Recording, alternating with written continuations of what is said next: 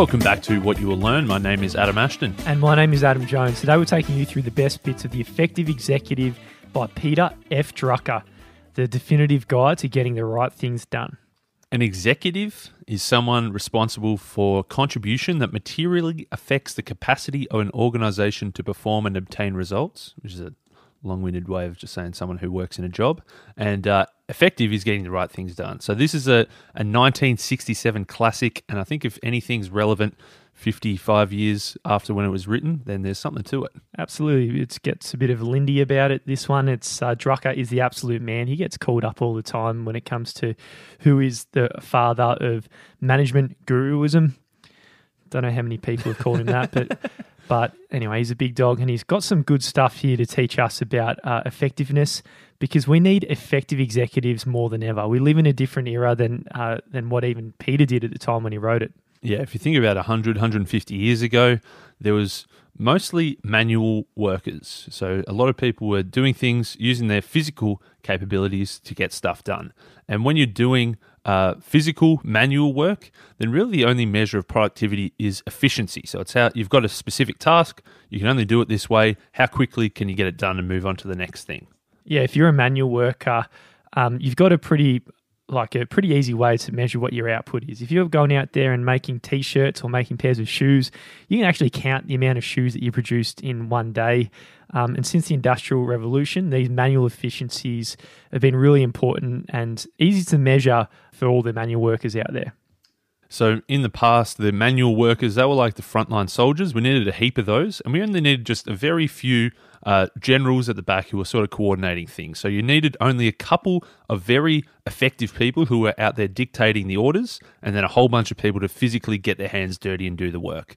Now, that was in the past, whereas today, not many people are left in that manual work anymore. Most of us are now in knowledge work. We're not using our hands and our muscles, we're generally using our brains. So when everyone and almost everyone is a knowledge worker, pretty much everyone needs to go out there and learn to be effective, just like the old generals were back in the day, dictating what the troops are doing. The issue is the knowledge worker today can't really be supervised like a manual worker can. If you're working in a factory in a division, you can easily see when someone's just sitting on their ass and doing nothing. It's a bit harder. I think even in the office to say, hey, that person's just been browsing around all day on, um, you know, 9MSN News or something probably even a step harder than that, like the, the shift to working from home. No one can see whatsoever what you're doing. The only thing that people can see is actually how effective you are and the results that come from your performance. Yeah, that's right. It's hard to monitor, it's hard to manage, it's hard to see what's going on. Uh, whereas in the past, it was all about efficiency, doing things right, doing things as quickly as possible. Now, the thing that contributes most to results is effectiveness, which is doing the right things. It doesn't matter how much crap you crank out, it only matters that you crank out important uh, things, the right things. To be reasonably effective, it doesn't matter if you're intelligent or working hard or you're knowledgeable in your industry and you got the specific knowledge. This is something entirely different. You can be a dumbass. If your IQ is 80, um, you could kick the ass out of someone whose IQ is 150 if you're doing the right thing and choosing effectiveness. Drucker is uh, he's pretty cutting. He doesn't mind giving a whack every now and then. He's he's pretty harsh. He says there seems to be very little correlation between a worker's effectiveness and their intelligence, imagination, or knowledge. Because he says that brilliant people are often strikingly ineffectual at work, and they fail to realize that brilliant insight itself is not an achievement. They've never learned that insights become effective only through hard systematic work. So, intelligence, imagination, and knowledgeable are essential resources. They're good things to have, but if you're not effective, you're not going to convert these lovely ingredients that you've got into a beautiful set of results. So, to be effective, it doesn't require special gifts or training. It's something that you can learn. And in this episode, that's what we're going to be teaching is some of the tools that he's got and the very simple things for us to do and simple habits. The simple thing is, though, they're not inborn. It's something that we can start applying and learn today. Yeah, he says across his four and a half decades of studying management, he's never found a natural in any organization, any organization, large or small, business or government, uh, labor unions, hospitals, universities, uh, communication services across every country in the world. He didn't find any natural effective people. He said that the people that were effective, they were all the ones who had actually worked at it. They'd worked at these five practices and developed their skills. So, in this episode, we're going to look at the five different practices that make you an effective executive. They're going to transform the results that you get from your work. So uh, we, there's so much we can learn from Drucker. The first habit is know where your time goes. The second, focus on outward contribution. Third, build on strengths, not weaknesses. Fourth, first things first. And number five, making effective decisions. So, whatever level you're at, the only thing that really dictates your success in your career, in your work, in your business is effectiveness. And these five habits, they can be learnt. And in fact, if you want to achieve any level of career or personal success, they must be learnt. The output limits of any process are set by the scarcest resource. In the process that we call accomplishment, the scarcest resource is time. So effective executives know that time is their limiting factor. It's also a unique resource. If you think about money, it's actually quite plentiful. There's loads of it around the world that you can tap into in different ways. With people, you can hire them, you can fire them, you can bring in uh, people if the old ones are no good. Um, you can add, add additional staff, different sorts of skills if the workload's too high. But time, it's something you can't rent, hire, buy, or no one in the world can go out there and obtain more time. Yeah, the supply of time is totally inelastic. No matter how high the demand for time is, the supply is never going to go up. Uh, there's no price curve. There's no marginal utility curve. It's like like for the other economic resources, time is just time. It's fixed. So the executives out there, they don't start with you know what's their to do lists and uh, managing their workload like that. They always start with managing their time. And before they even start planning where their time, what they're going to do with their time, the first thing they start doing is finding out exactly where their time goes. Now, there are constant pressures towards unproductive and wasteful uses of time, uh, and really that's only going up. The time demands on any executive is going up. Whether you're a manager, whether you're a non manager, a whole bunch of the stuff you're doing is actually going to be crap. You're going to be doing stuff that doesn't actually contribute any results or any achievement, and most of your time is going to be wasted.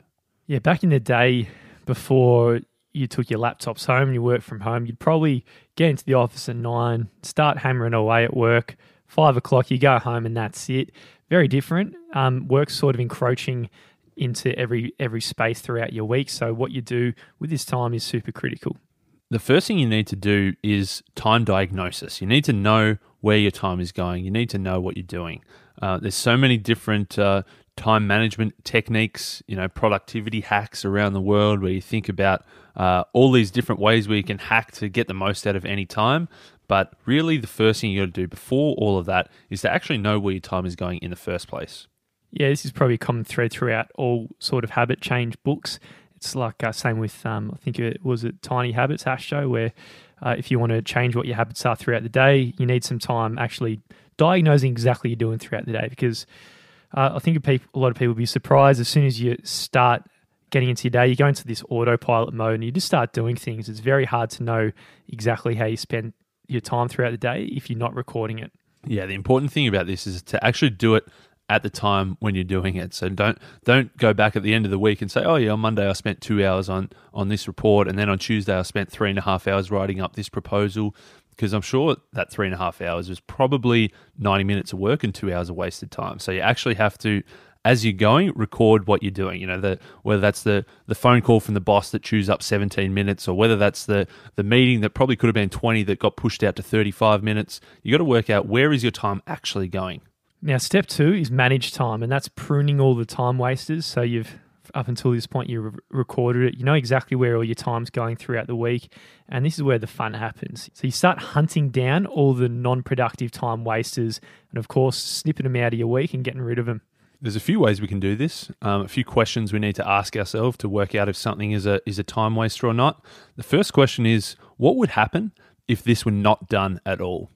And if the answer to that is nothing, then that's a time waste. You probably got to scrap that. If you, it's pretty amazing. Uh, and this is another Drucker whack. He says it's pretty amazing how many things busy people are doing that will never be missed. If you think about the the the coffee catch up that you think you have to go on, or whether that's the the daily update to the figures, or whether that's that monthly report that you fill out, you spend hours on, but nobody ever reads. If you ask yourself, what's going to happen if this doesn't get done? If the answer is nothing's going to get done, nobody misses it, then you've got to scrap that altogether. Yeah, that's it. I'm sure there's 50% of meetings out there could have just been oh, yeah. consolidated into maybe just an email. Yeah. You say, ask the specific person, then all of a sudden you got eight people in the room and Yeah, and a lot of the time, retrospectively, you're like, what, what the hell just happened? Was that just an entire waste of time? And probably is Yeah, most of the a time. lot, a lot of the time it is. Another question to ask yourself is which of my activities could be done by somebody else just as well, if not better? And that's where that crucial skill of an effective executive comes in of delegation. If you realize that the, the thing that you think is so important that you're doing that only you could do, but then you realize, oh, actually, uh, Johnny from uh, from the next block over could probably do this just as well, then maybe give it to Johnny, I reckon. Yeah, that's it. Naval Ravikant in his well, not in his book, but the Almanac, uh, Almanac of Naval does talk about leverage and how important this is um, in the modern world because uh, delegating and leadership in that sense is an ultimate form of leverage where you can actually multiply your output by a great deal if you're able to delegate effectively to other people of the team. Uh, if you think about that, you're sacrificing some of your work by giving it to somebody else, and you're thinking about it all wrong. You got to realize that once you've got this list of all this crap that you're doing, and realize that, well, look, some of it doesn't need to be done, so you can scratch that off entirely. You're still going to have a long list. If you can realize that there's three other people in the team that you can delegate tasks to, that your special insight doesn't actually add anything specific, then it's better to get them to do that to free yourself up to do the more important stuff. Yeah, it's absolutely. It's the big handball. Like having the effective handball is one of the most important skills of these effective executives. Now, number three, the third question ask yourself, what do I do that wastes the time of others without contributing to their effectiveness? Bit Yeah. selfless here. Yeah, the first couple we, we, were, we were pruning out our own time wasters. Now we're pruning out the time of others that we're wasting as well. Um, and there's probably a lot of these. There's probably the uh, you know the the weekly whip with your team members where everybody shares what they've been up to, but nobody really gives a gives a stuff about what's going on. Maybe it wastes 45 minutes of everybody's time. Whereas you say, maybe you can scrap that and it's just a, a three bullet point email where everybody emails in what they're up to. That's just saved six people 45 minutes time each. So, step one was record time, step two was manage time. Now, step three is consolidate time. So, once you've logged your time in step one, you've pruned your, your time wasters in step two, your coffee with your coffees with all the suppliers and all that sort of stuff that just makes no sense. You're getting rid of all that. You're going to find that there might be a little bit, bit of time that's left over if you've done step one and two correctly. Now, the important thing here is we consolidate this spare time uh, into as big a chunk as possible because anything that's really effective, anything that's really important, is probably going to take a long time to do. You can't just fill in 12 minutes here, 9 minutes there, 17 minutes there. You got to actually try and get as much of these chunks of time together as possible so you can actually sit down, focus, do some deep work to actually contribute and achieve something big. This, for me personally, was by far the biggest takeaway from the book. I mean, if someone's scheduling meetings, say, hey, when are you available for it? Previously, if you got a full day on a Friday, I'd probably say, hey, I'm available Thursday and Friday all day. But now it's, you know, putting all the meetings back to back on a certain day. Then all of a sudden you've got a, a full day perhaps to get actually work done. So, yeah, having these long chunks of time to get important tasks done is, uh, is all about the consolidation. Yeah, there might be a few. Um, there might be a few specific things you do here to try to get as big a free chunk of time as possible. It might be that you work from home one day a week, where you say, if you don't have to, don't call me because I'm going to be focusing on these really important things. Maybe it's writing that report. Maybe that's uh, preparing the big pitch or the big presentation where you need focus and time.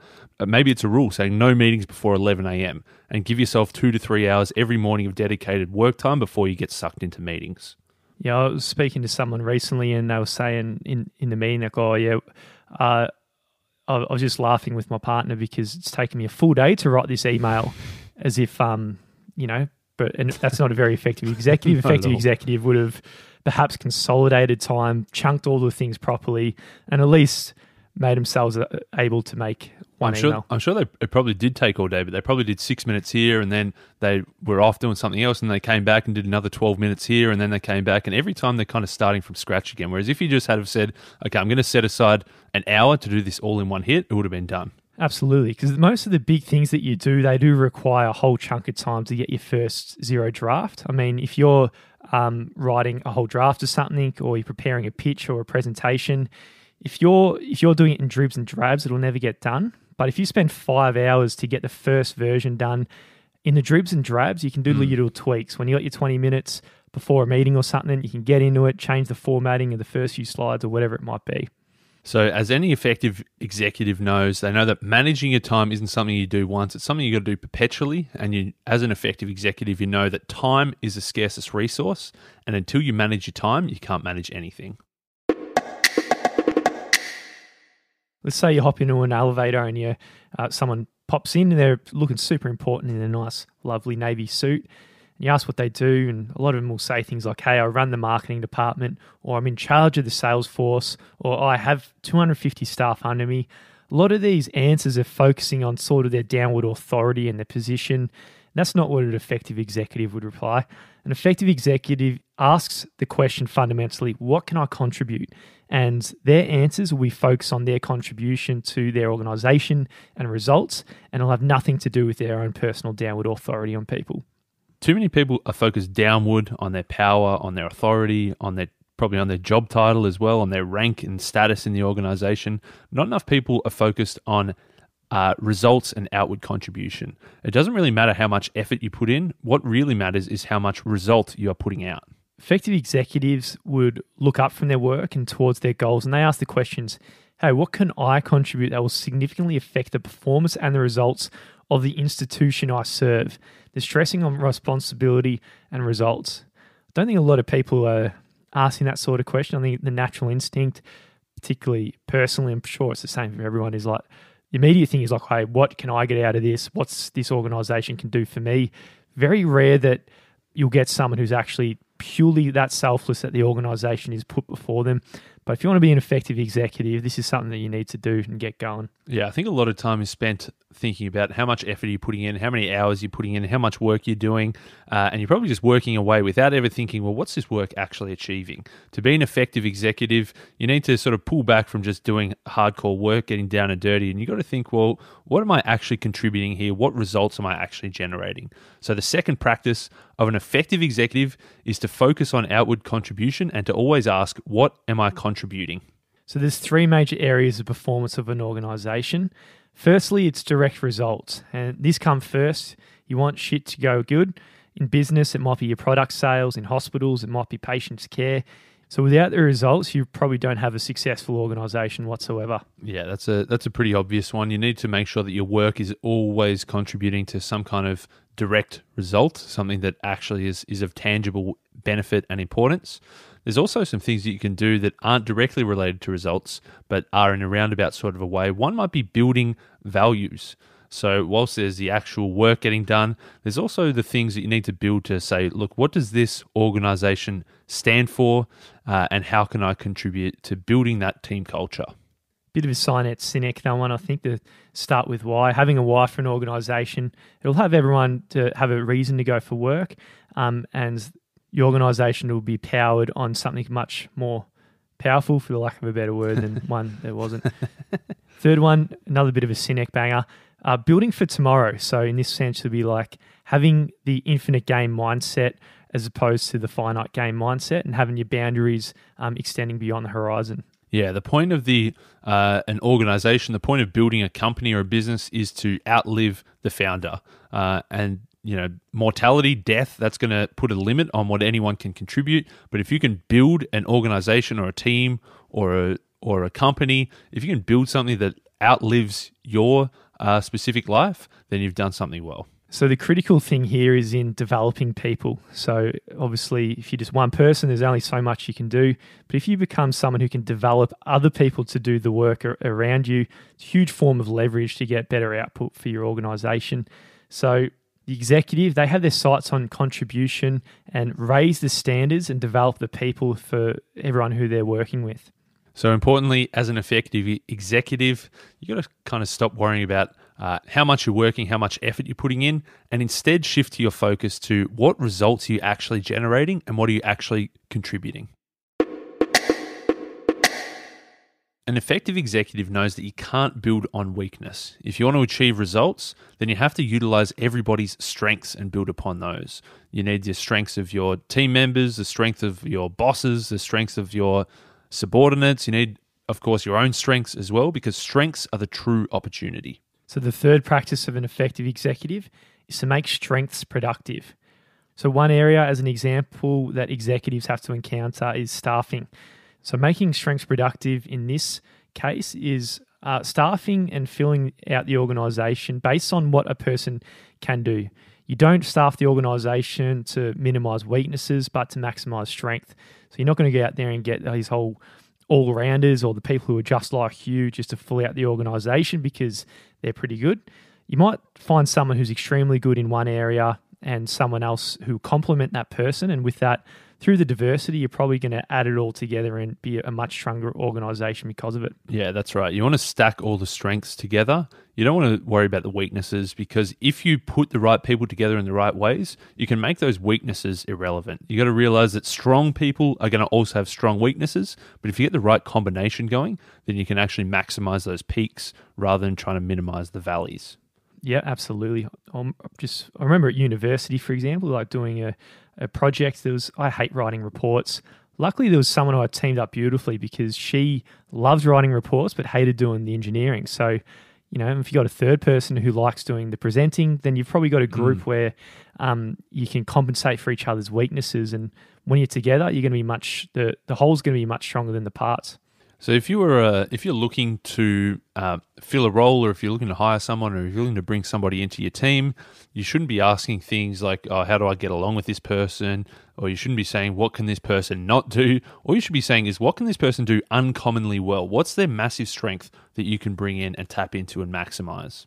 You should be finding a, a, a staff member or a team member that has excellent skills in one major area, rather than someone who's just like a, an all rounder who gets by in all areas. Hundred percent. Like someone might be a real pain in the ass in the organisation. They come in and they they stink or they swear and they yell at people and they're an asshole. Um, this may be me saying you should hire them, but Drucker probably wouldn't hire them actually. But just for the purposes of this, you probably cop all the other stuff. If they can do one thing extremely well and better than everyone else, you can get over all their other weaknesses and just look at their their ultimate strengths. And this is what making strengths productive is all about. Another interesting twist here, what Drucker says is if you if you're looking to hire someone, don't start with the job description. Don't start with you know what does this job require? What's the the list of past experiences and and the the six skills that this person should have to fill this role. Instead, rather than looking at what the job requires, you should look at what the person can do. So you should be looking about okay, where are these strengths and how can you actually build a role around this person's strengths rather than just looking for somebody who can fill the gap with the, the nice, pretty resume that has got all the right dot points, but maybe they don't do that massive sort of overachievement in that one area. You'll be doing yourself and the person coming on board and the organization a favor if you make the job description that you're putting together demanding and big. And of course, as you were saying there, show tailored to who the person is and what their strengths are, especially for the people just entering the workforce, because um, you'll be doing a huge favor if you show them and let them set huge and high standards, because that's going to probably be their anchor for their performance for the rest of their career. It does take a fair bit of discipline to always be asking what can this person do rather than saying what can this person not do. It's pretty easy to identify the flaws and, and realize all the things that somebody's doing wrong, but it takes a lot more discipline to realize that, hey, what can if this person can do this one thing really, really well, then their lacks become secondary. And of course, if you're always looking for the best in other people and not trying to always look for their weaknesses, eventually you're going to start using this approach on yourself as well definitely if if you know if you start knowing what you personally can do uncommonly well, you're probably going to try and exploit that and look for opportunities where you're using that in the best way possible. Rather than find yourself in situations where your C or D grade attributes are on show, you want to be in your hitting zone as much as possible, really, throughout your career.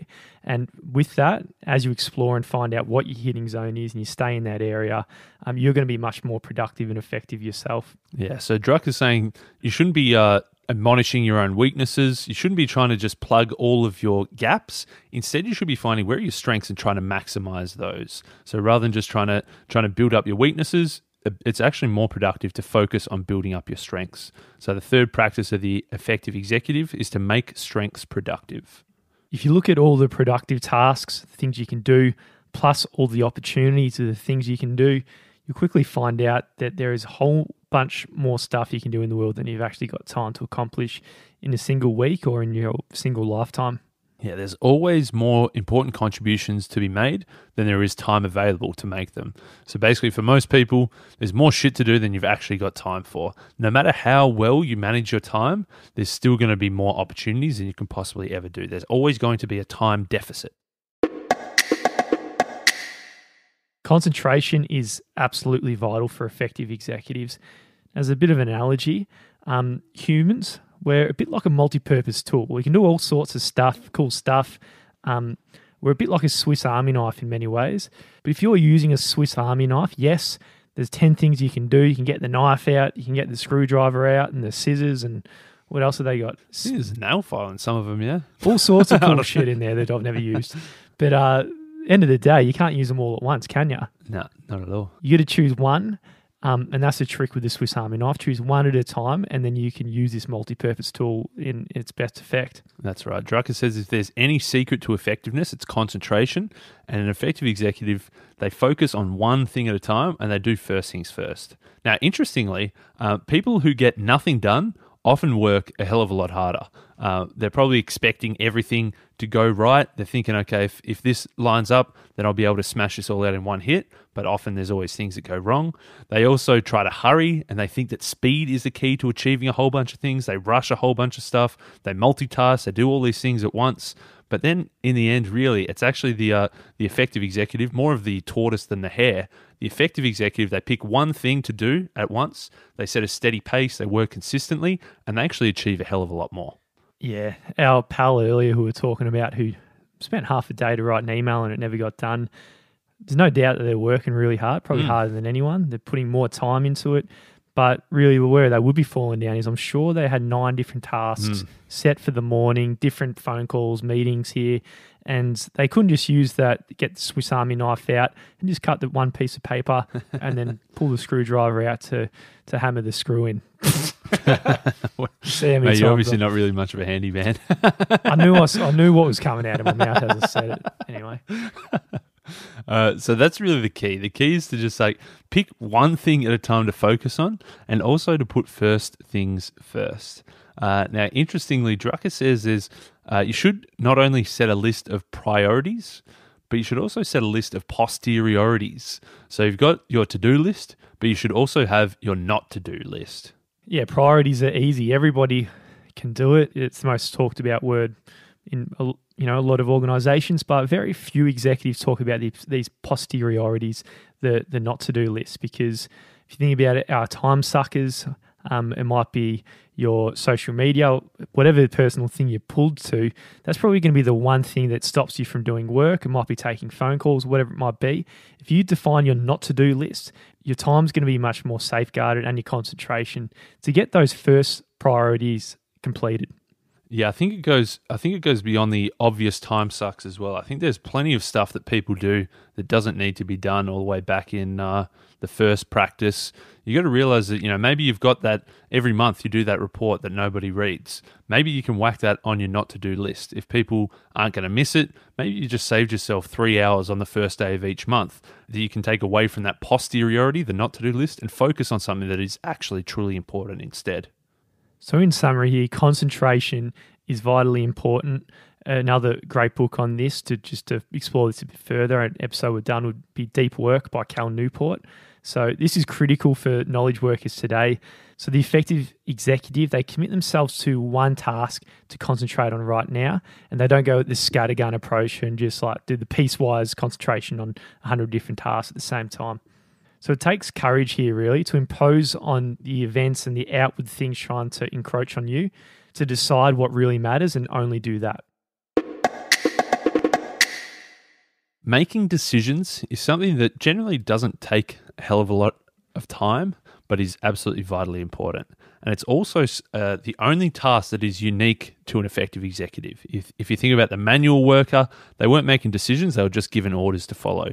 If you think about somebody pretty low down on the food chain of knowledge work, they're also just given orders to follow. They're just given directions of what to do. But the higher up you go, uh, the more important it becomes to make effective decisions. So, effective executives, they make effective decisions and they don't just do it willy nilly. They actually follow a systematic process with clearly defined elements made in a distinct sequence of steps. So, It's pretty different to what you know a lot of other people would um, say the elements of decision making. Drucker probably tackles it in quite a different way. I'd say. Yeah, this is uh, yeah, this is a bit eye opening. I reckon that he really said that there's only really two uh, things that we need to work out. We need to work out is this a generic problem or is this an exception? If it's a generic problem, then it requires a generic solution. It's something that's been done before. And if it's an exception, then obviously it needs a specific exception that is treated on a case by case basis. So, truly understanding and diagnosing what the problem is is super important for you to jump in and just shoot from the hip and make your make your decision. So, there's four different types of problems. The first type is truly a generic problem. So, this is just something that it comes up as an individual occurrence, but in reality, it's a generic problem that happens all the time. Yeah, if you think about maybe you're in a warehouse or a factory and you've got inventory problems, there's inventory uh, shortages or surpluses. This is not a new problem. This is just a symptom of a generic recurring problem. It's something that's going to happen all the time. If you were to treat this as an individual exception, as a one off problem, the inventory control, they're going to go around fighting fires. They're going to fight 100 different fires every month and try to solve every little problem that pops up. But really, they should probably just take a step back and say, hang on, if this is happening all the time, maybe I need some kind of rule or principle that's going to stop this from occurring in future. If it's a generic problem, it needs a generic solution. That's it. If you got the rule developed this one time, you can just roll the rule out for when it pops up the hundred other times. And with that one decision, it has the ripple effect to solve all the other issues, eh? Definitely. The second type of problem is something that looks like an exception, but actually it's a generic problem. So it's something that is going to look unique to you as an individual, but it happens all the time. So, for example, uh, a merger or acquisition, a company approaches you and says, Hey, we want to buy you. Now, to you, that's going to be the first and probably only time you ever get that if you sell. It's going to seem like an exceptional problem, but actually, that's something that happens all the time. So, in order to solve this problem, you just need to sort of look outside of your bubble, look to other people that have done it before. You know, look to books, look to case studies, look to, uh, you know, courses, look to gurus, look to anybody uh, who's done it before and say, okay, here's this generic problem. It seems unique to me, but what, what would you suggest? How can I solve it? How has it been solved well in the past? You're really getting the outside view using Daniel Kahneman terminology to help you make the decision here. The third category is where it's an exception. It's really the first manifestation of a whole new generic problem that's going to arise in the future. Yeah, if you think about the the first time uh, electricity came along and everybody's got access to power, and then there was a blackout. The first time that happened, everyone would have thought, "Holy shit, this is a brand new thing that's never happened before. We've got a blackout. How can we solve this?" But actually, it's a new generic problem. So it, it happened once, but actually, it's going to keep happening again. So in this case, if it's something that you could foresee happening again in the future, then you need to find a generic solution again. Get that rule in place. Now, the fourth bucket is truly the exceptional problem. Bit of a black swan. It's entirely rare. There's no way that you could have guessed this was going to happen. It's probably never going to happen again. Um, but, you know, this hardly ever happens. So, what Drucker says pretty much every time, every issue you have, it's going to fall in those first three buckets where you can develop systematic processes and rules to deal with it. So, next time it comes up again, you can handle it or alternatively, you can borrow from someone else who's uh, developed the generic rules to help you with the situation. So either way, whenever something happens, you're looking for for those systematic processes to uh, as as your problem solving uh, mechanism. That's right. The completely ineffective way to do it is every time there's a problem, you think, what's a problem? How can I solve this one uh, individual exception, this one problem that pops up. How can I whack a band aid on it? But really, the effective executive, they make these uh, generic decisions where they put the rules or processes in place so that, again, next time it pops up, they've got a rule they can go back to. Or even better, if you can solve it and stop it from happening in the first place. Let's say if you're a startup, you're an entrepreneur, you're starting a business, and you got a shortage of cash. Might be the first time that you've had this issue, mm. but it's obviously something that's happened elsewhere. So you go through the buckets and you can make a decision. Hey, what the hell are we going to do with in this moment? Most people probably just shoot from the hip and just try and flounder around and figure it out. But that's not an effective way of doing it. You'd find out what bucket you'd be in, and mm. in this case, what bucket would you be in, Astro? Well, you might think, oh, this is a true exception. This has never happened before. It's never going to happen again. And then you just think, oh, how can I get a new investor or take out a big loan and solve my cash problem? But that's not very effective. The effective executive is going to realize, well, hang on, why are we running out of cash? Uh, there's a few things that it could fall into. Uh, it's something that other companies face all the time. So you could go for that, you know, the it seems unique to you, but it's actually generic. That second bucket where you actually, you know, ask a few friends, ask around for other startups. What have you done? Uh, how have you found it? Or it could be the first mutation for you of a brand new generic problem. So that would be looking at, at bucket C. That might be thinking, okay, well, how come we're running out of cash? Is this something that's likely to happen again? Rather than just going the band aid solution and getting more cash, maybe you should think, well, our costs are too high. How can we bring our costs down so it doesn't happen again in future? So it's a huge leverage moment when you face these situations because once you hit the core of what the issue is and you create rules and how you're going to face the issues in the future, that one decision you might make, you might block out three or four hours. It might seem a bit over the top how you're handling this one situation to make the decision.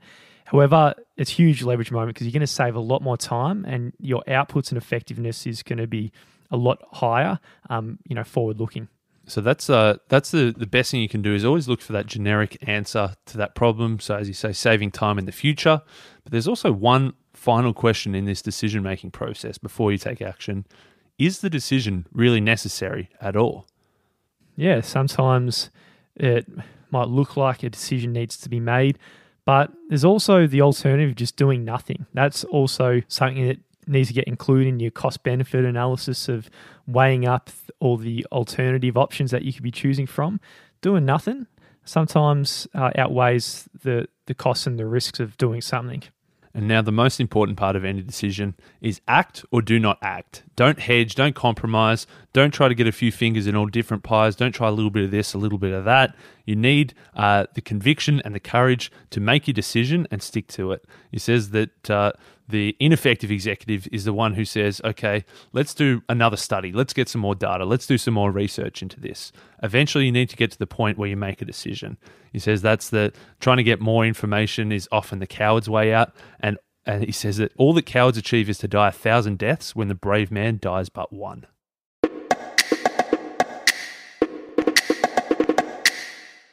The premise of this book rests on two core ideas. The executive's job is to be effective and get results and outputs. Now, the second premise is effectiveness and can be learned. Something we, we went through five habits in this episode. You can throw them in your back pocket, in your toolbox, and you're going to be a much better operator going forward. Above all, what this all boils down to is self development. As Drucker said at the start, there's no naturally effective people. It's all a process of learning, developing, and practicing. And when you're focusing on the self and, you know, putting yourself up a few notches to become effective, you're not just going to raise the performance of yourself, but the whole organization is going to benefit from it. You're going to raise the sights of the people around you, and it's going to have a ripple effect on all the people in your organization also. So Drucker says that by going through these five practices of effectiveness, then effectiveness can be learnt. And if you have any desire to achieve anything of, of career or personal success, then effectiveness must be learnt.